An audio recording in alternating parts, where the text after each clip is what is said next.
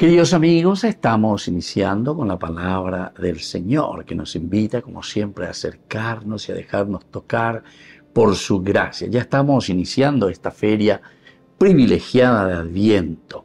Leemos del profeta Jeremías, estamos en el capítulo 23 del 5 al 8. Llegarán los días, oráculo del Señor, en que suscitaré para David un germen justo. Él reinará como rey y será prudente practicará la justicia y el derecho en el país. En sus días Judá estará salvo, Israel habitará seguro, y se lo llamará con este nombre, el Señor es nuestra justicia. Por eso llegarán los días en que ya no se dirá por la vida del Señor que hizo subir a los israelitas del país de Egipto, sino más bien por la vida del Señor que hizo subir a los descendientes de la casa de Israel y los hizo llegar al país del norte y de todos los países a donde los había expulsado para que habiten en su propio suelo. Queridos amigos, Jeremías, que significa sobre todo Yahvé reconstruye. Yahvé entonces que inicia un nuevo mundo. Yahvé que inicia una nueva vida en el corazón del hombre.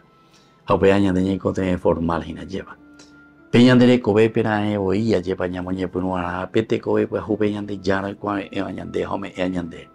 Por eso incluso nos va hablando del exilio, nos va hablando de situaciones difíciles por las que pasó Israel, las situaciones también del éxodo, pero sin embargo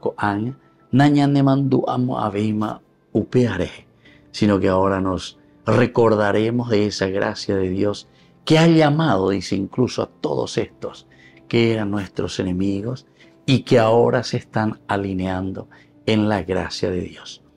Dice entonces Jeremías de la reconstrucción del mundo, que significa una universalidad de la gracia de Dios.